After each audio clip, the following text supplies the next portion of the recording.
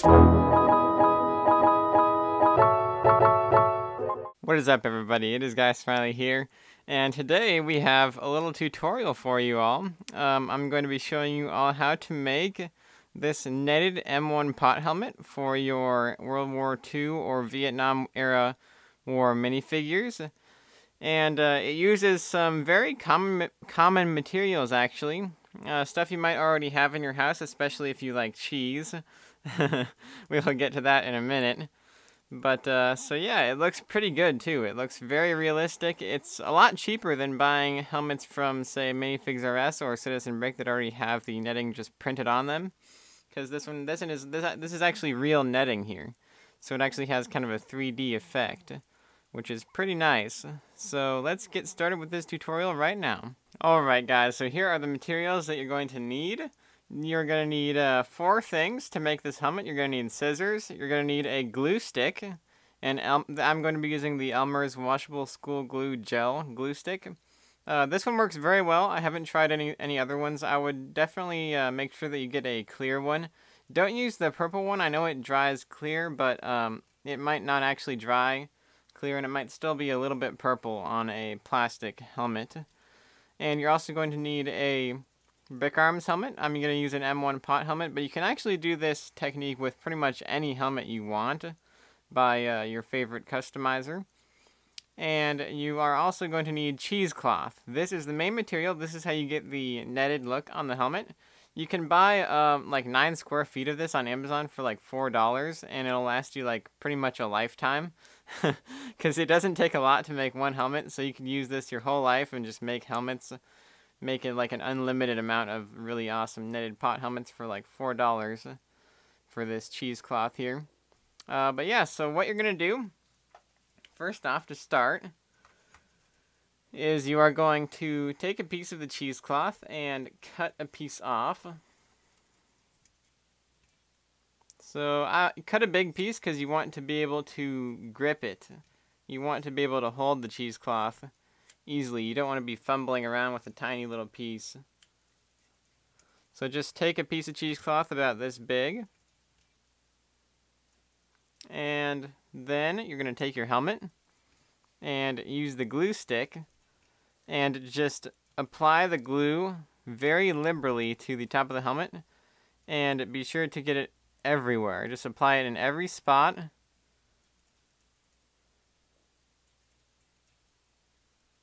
every spot on top of the helmet. And make sure that you get a lot in the little crack there where the rim is. Because that's where it's going to be most likely to kind of mess up. And the uh, cheesecloth will kind of come up at the edges. then it won't work very well. And it's okay if you've got big clumps on there. It'll They'll uh, be uh, pressed down and smoothed out once you put the cheesecloth on. And then also put some on the underside as well.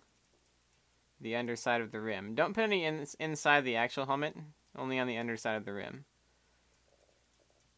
So now that we have got the glue on the helmet, we're going to take our cheesecloth and we are going to put it over the top of the helmet and press the cheesecloth down. And kind of make sure that it's not bunched up in any spots and then kind of grab it and bunch it up and kind of push it under up underneath the helmet. Now your fingers are going to get dirty if you uh, are making this helmet. They're going to get glue on them. You just have to be willing to do that. And what you can also do is you can twist so that the helmet gets nicely so you get some tension in the cheesecloth. And then what you want to do is you want to take your fingernail and you want to press the cheesecloth down into the rim of the helmet there. All the way around.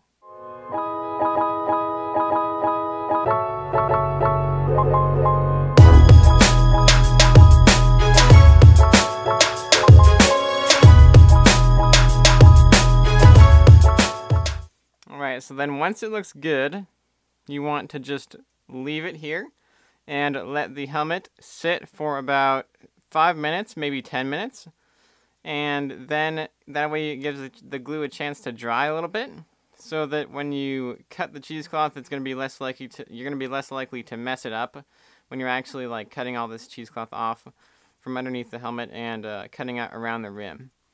So leave it sit for five, leave it to sit for five minutes, five actually maybe ten minutes I would do, and then that way it dries and then it'll be much more stable when you come to do the final adjustments. Alright guys, so it's been about uh, 10 minutes now, so this is probably dried just a little bit, and uh, one thing you don't want to forget to do is put the cap on your glue stick. So while this was drying, I just went in and I washed my hands so that my hands wouldn't stick to the cheesecloth so much. I suppose you could use gloves if you wanted to. Um, they might help because they might not stick to the glue as much, but uh, I don't have I don't have any time for gloves. I ain't got time for that. So we'll just we're just gonna cut the cheesecloth out, and then we're going to cut it out of the little, out of the hole on the bottom of the helmet. So you want to take your time with this, and you want to go very slow, and you want to use lots of little cuts. Just kind of do it. Take take your time.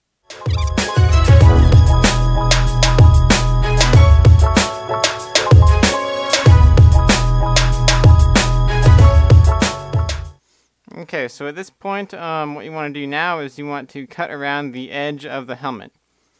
Cut around the entire edge and try to get all of this excess cloth off of the helmet.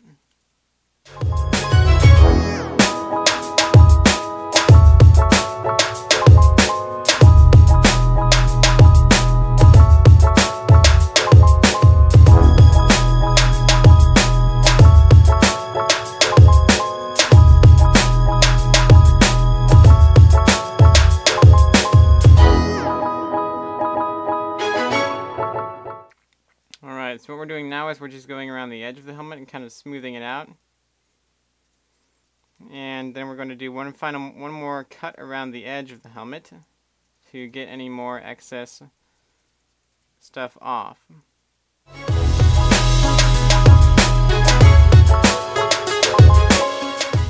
Alright guys, and I think that's pretty much done there. So what we're going to do now, this is the last step, is you want to put the helmet on a figure. And you want to make sure that there's no shards on the helmet. And then you want to go around the helmet one more time with the glue stick. And you want to put uh, glue especially in the edges of the helmet. Because with another layer of glue on top it'll prevent the cheesecloth from coming up anymore uh, during when you're like holding it or just uh, taking it on and off the figure. It'll prevent the cheesecloth from becoming dislodged. And this does it, it does dry clear, so if you see some clumps, I think that they will they'll dry clear clear colored. But you can always uh, just smooth out the clumps with your fingers. And then you're pretty much done. So now we can uh, take the helmet and we can put it on one of my Vietnam minifigures.